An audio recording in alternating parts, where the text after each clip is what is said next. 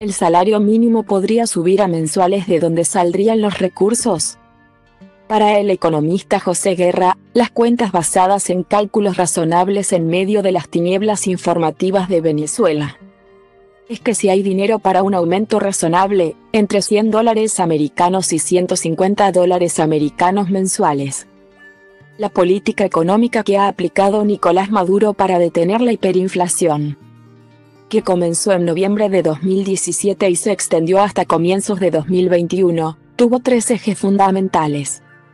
En primer lugar, procurar la estabilidad del tipo de cambio mediante la venta de divisas en efectivo al sistema financiero, un aumento del encaje bancario que llevó, entre otras cosas, a la virtual desaparición del crédito, y una reducción brutal de los salarios reales de los trabajadores activos y pensionados.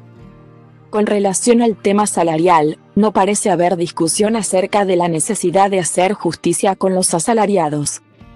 Tal vez la discusión es cómo hacerlo y el monto del ajuste. Conviene destacar, primero que nada, que no se está solicitando un aumento, sino una compensación por el deterioro acumulado del poder adquisitivo.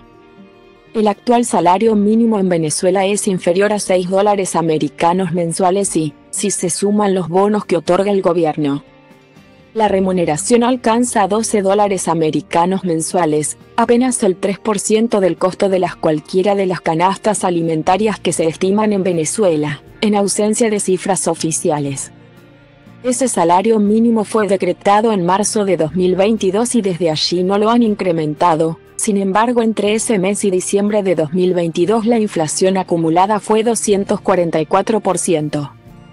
Ello sugiere que los salarios no causaron la inflación al menos en ese lapso, sino que más bien se rezagaron considerablemente.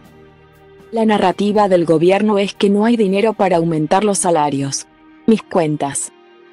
Basadas en cálculos razonables en medio de las tinieblas informativas de Venezuela es que si hay dinero para un aumento razonable, entre 100 dólares americanos y 150 dólares americanos mensuales. Acá las cifras de lo que en 2023 recibiría el gobierno. Exportaciones petroleras netas, incluyendo las que comenzó a hacer Chevron, 12 dólares americanos, 000 millones. IVA, 3 dólares americanos, 200 millones. Venta de gasolina, 1 dólar americano, 700 millones. Y GTF, un dólar americano, 500 millones. Aduanas y otras contribuciones a las importaciones, 800 millones de dólares americanos. Otros impuestos y contribuciones para fiscales, un dólar americano, 000 millones. Exportaciones de oro y otros minerales, un dólar americano, 500 millones. Impuesto sobre la renta no petrolero, 2 dólares americanos, 000 millones. A estos ingresos hay que agregar aproximadamente 5 dólares americanos, 000 millones en cuentas mantenidas en el exterior. Para un total de 28 dólares americanos, 700 millones.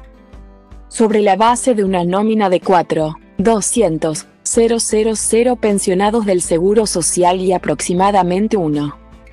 200, 000 empleados públicos activos, el costo laboral con un salario mínimo de 150 dólares americanos mensuales sería un estimado de 9 dólares americanos. 720 millones anuales, los cuales serían factibles de ser pagados, dado los ingresos esperados. El gran problema es preservar el poder adquisitivo de los salarios en un contexto que no existe en Venezuela donde no se debate un programa económico que propenda a la estabilidad y al crecimiento de la economía. De allí que habrá que diseñar un mecanismo de ajuste de las remuneraciones a la inflación o al tipo de cambio. Por Noticias al día y a la hora autor, al día y a la hora arroba notidia hora fecha de publicación. 2023, 02, 07 16 horas, 20 minutos y 27 segundos fuente.